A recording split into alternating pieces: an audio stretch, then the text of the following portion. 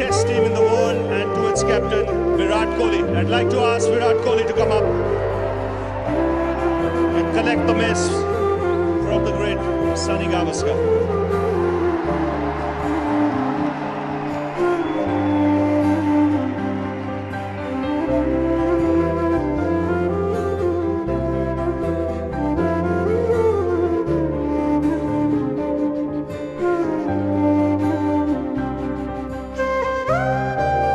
Trust me, I've, I've got a few man of the match awards, so have the boys. But when they hold this, I think it's going to be a really special thing.